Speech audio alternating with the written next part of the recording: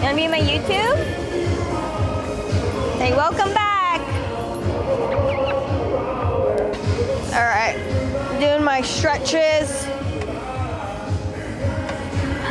Pam. Wow. Welcome back to my YouTube channel. This is Dylan. Song A song fucks. Okay, I'm gonna do some rehab. I just went to St. Louis. No, what the fuck's wrong with you? And we came up with a warm-up routine that's helping my hip and my pain feel better and I'm gonna show you guys what we did. So first I did the banded mobility. Showed it before in my videos, but as you can see in this one, I'm grabbing a bench now to help me hold the leverage so you're not like, the band's like literally pulling you away. So I felt like I was taking a lot of my muscle and a lot of my brain power to just hold myself up rather than holding onto the bench and just kind of like relaxing into the stretch, which I'll show you in the video here.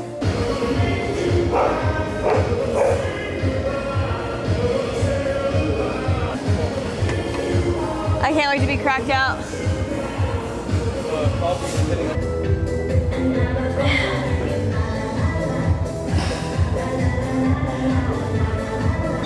And then I have these locked clamshell things.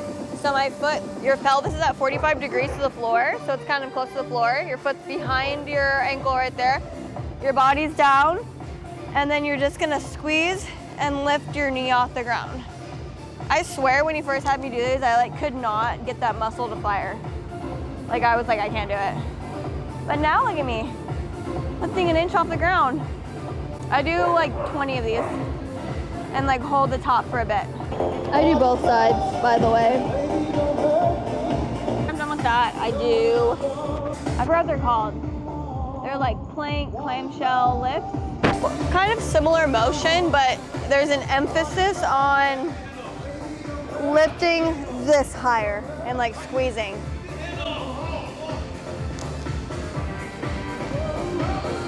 I do six of these. I like to do, he said pick one or the other, but I like to do both, so I do six of each, and I'll show you the other one after this one.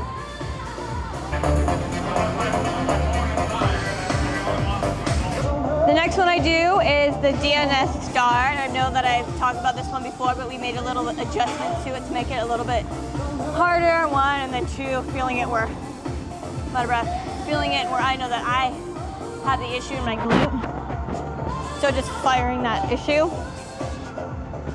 So same concept. Up in that plank, this knee's gonna be here. This knee drops to your toes. And then instead of having my hip down like this, I'm gonna make sure it's pulled up and I have tension there. One, and then hold it, two, three. I'm gonna do six of those. Oh, and your hand goes out like this for some reason. I don't know why.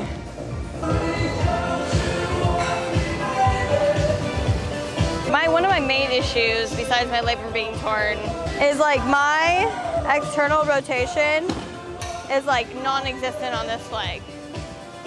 So to add something that really, really helped me was going in a squat and then making this, like making myself feel that external rotation in, in my glute. Like, you see that like small movement?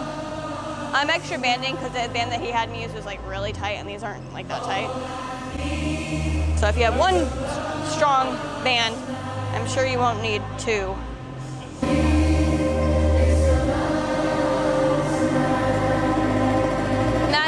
My warm up I do for my hip before I start my weightlifting.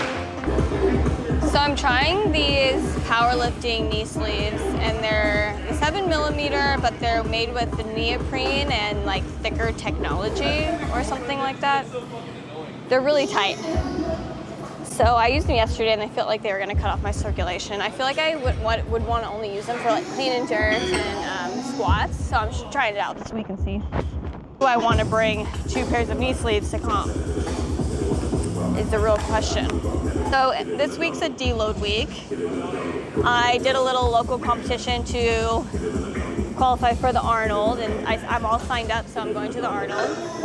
So if you're going to the Arnold, let me know. Or don't, actually. But I feel like my body just all of a sudden one day was like, no. Last week. It was on, it was the day of the competition. I felt so bad. Like my hip felt bad, my back felt bad, like my shoulders felt bad. I mean, I still did the competition, it was fine, but it was like, okay, like I'm glad that this was like a scheduled deload, else I would have had to been like, hey, let's like take a step back. So everything is, everything's fine now. And now we have front squat fives. We have some jerks from behind the neck, and then we have, oh, it's like behind the neck, in front of the neck, and then something else, some poles or something. Oh, oh my God, we have those overhead holds from the blocks, and um, I read on my paper it said 127 kilos for my top set for a double. I on it like in my brain right now, I don't think I could do that, but I'll try. I mean, that's all I can do, right? I mean, I'll, I'll probably surprise myself and it'll probably be easy. But again, he wouldn't. I don't think he would schedule a number for me that I couldn't do or like wasn't possible and like taking from what other people have done and other people's strengths. Like I feel like that wouldn't be a ridiculous number, but on 127 kilos, I've like never loaded on the bar except for a back squat. So, but I'm feeling kind of sick today. I'm feeling like a little under the weather. So I ice bath this morning. Dylan said it would help, so I ice bath and then I don't know. Now that I'm out and about and like having caffeine in my system, I do feel a little better. Um, but I do feel a little sick today. don't tell anybody. Just chipping away.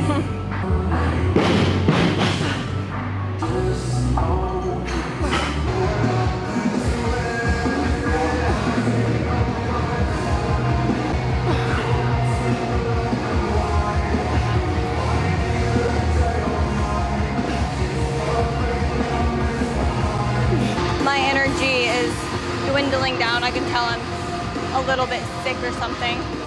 Feels good. Feels great. Feels strong.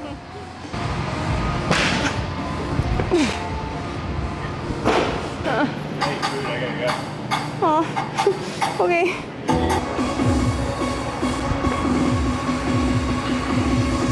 On a deload week, I really try to not think, overthink, because I do that all the time. And deload week, I'm just focused on, okay, I'm just gonna make the lift, just gonna lift. Kind of take a little bit of a break with that.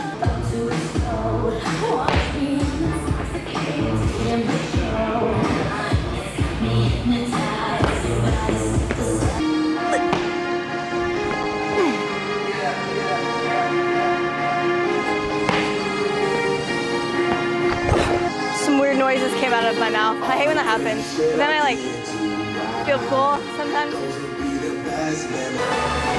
Oh shit. I, I don't, I don't know.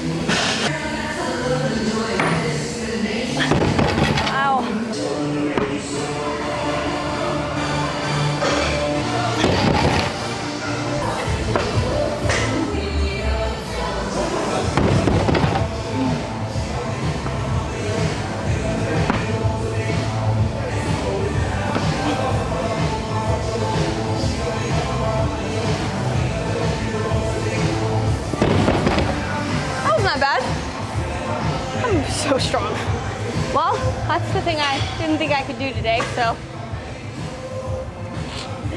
Um, like, comment, subscribe. Let me know if the warm-up helped. Warm up your hips. I definitely feel worse than when I started today with like my sickness. I think I'm fine. I get a little bit in my head with being sick. Okay, love you. Bye.